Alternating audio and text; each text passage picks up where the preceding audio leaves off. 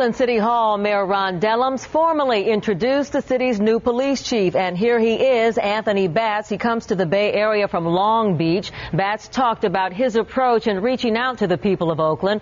And he started out by explaining how the killing of the four officers earlier this year affected his decision to come to the Bay Area. Four officers were gunned down in the streets of Oakland. Three days later, I watched on TV uh, this play itself out. I watched the pain and the suffering in the police department. I watched the pain and suffering in the community. And I came up here to the funeral.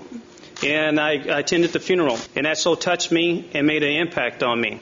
I saw the pain on both sides. I saw the disconnect beyond, be, between both sides.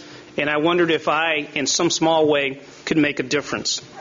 I need to touch and feel and people need to hear from me and need to see me too. So uh, my plan is to go out into the community, listen to and find out what they need and their expectations and what they're looking for as a whole. Uh, my focus is when you have particular issues to get out there, whether whether it's a part of that neighborhood, to see myself exactly what's the causative factors.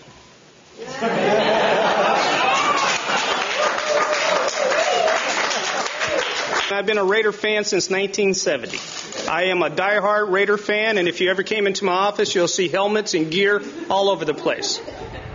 Well, Batts served as Long Beach police chief for seven years. During his tenure there, he was able to bring that city's crime rate to its lowest point since 1975.